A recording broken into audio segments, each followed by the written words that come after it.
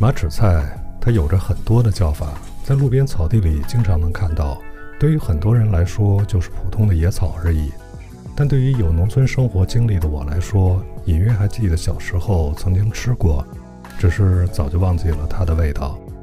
小院里也没少长，于是就想回忆一下这曾经儿时的味道。将洗干净的马齿菜放入开水中焯烫，放点盐去除些异味。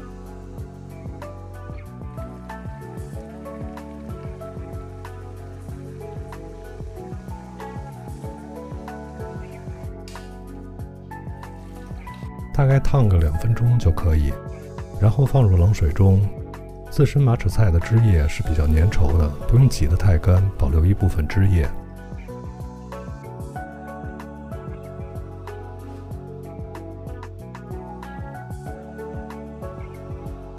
凉拌是最简单的吃法，切点姜末，挤点蒜泥，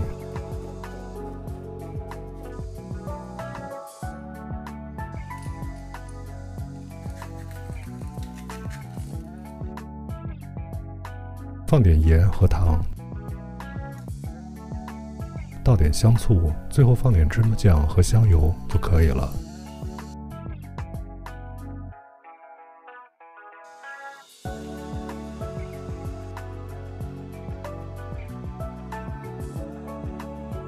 拌匀后装盘，就是一道美味爽口又充满新奇味道的凉菜。